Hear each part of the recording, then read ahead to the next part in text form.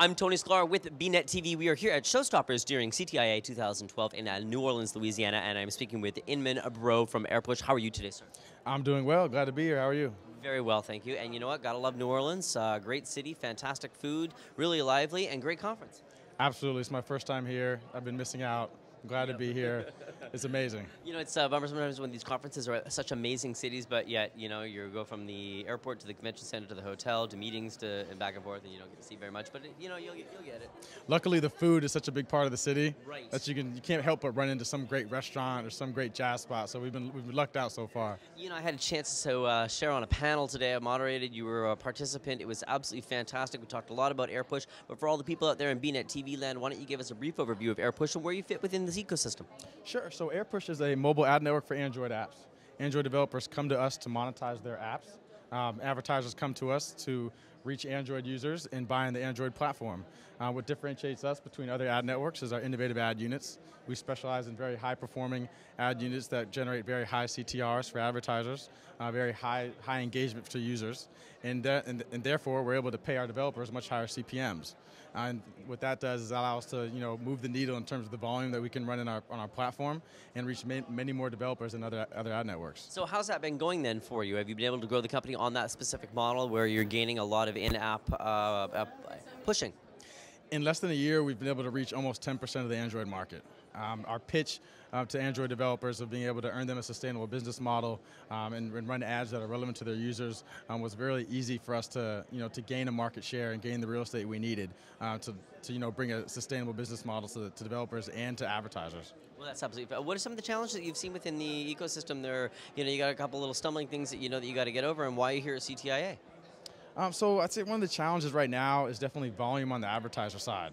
Um, you want to you want to increase your advertiser depth and, and, and, show users relevant ads. And there's still a lot of brands out there and different advertisers that are holding on to their mobile budgets, um, which is you know not not necessarily choking off the industry, but you know not the not the most long-term sustainable business model you can find out there. So we need those develop we need the agencies and the brand guys to, you know, be more open and learning more about adver mobile advertising and a little more innovative in, the, in, their experimentation in the new media. So you know, I've had a chance to be in this ecosystem for a little while now, and I've seen you know, mobile advertising grow and grow and grow year over year. Of course, we had that little funny comment today on the panel was like, "This is going to be the year of mobile." We've already sort of surpassed every, every year yeah. is the year of mobile. So we, we've surpassed that, right? We know that the you know that these things are here to stay. We've seen the line items and budgets continue to increase for major brands, being able to expend more dollars within their mobile campaigns.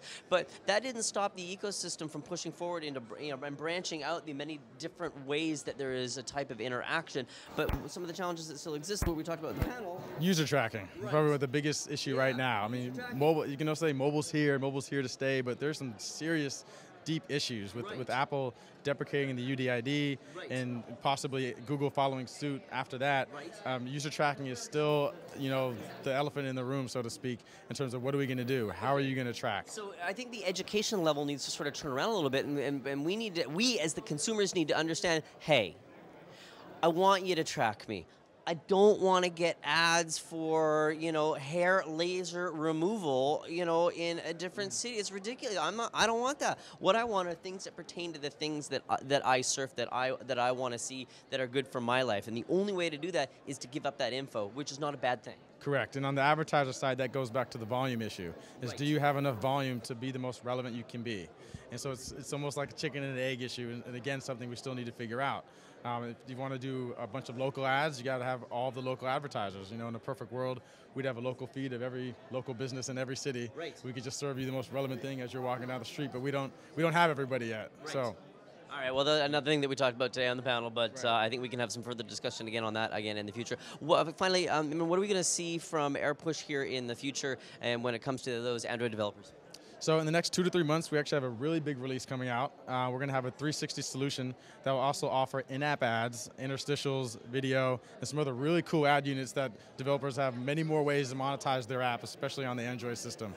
Amen. Thanks so much for taking the time and opportunity to speak with us here today at Showstoppers. Somebody can for an update again in the future, and I hope we get a chance for to be on another panel again. Well. Thank you so much. Fantastic. I've been speaking with Mr. Inman Breaux of AirPush. I am Tony Sklar here at Showstoppers doing CTIA in New Orleans with BNet TV.